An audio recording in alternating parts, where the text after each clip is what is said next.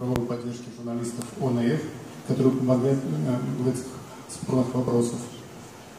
Суды выносят решение, причем с такой формулировкой, что почта, требуя дополнительные выплаты с редакции, осуществляет незаконное обогащение. Ну, суды выиграем, казалось бы, все замечательно, хорошо, но суды – это достаточно долгий и хлопотливый путь для газет. А мы посвящались с коллегами, с юристами и нашли другой вариант решения этой проблемы и рассчитываем здесь на вашу поддержку, Владимир Владимирович. Просьба такая, а, то есть поручение правительства Российской Федерации внести уточнение а, в правила распространения периодических печатных изданий.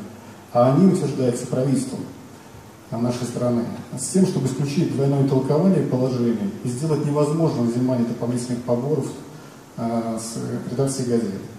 Уверен, что такая мера улучшит экономическое положение газеты и думаю, что коллеги со мной согласятся.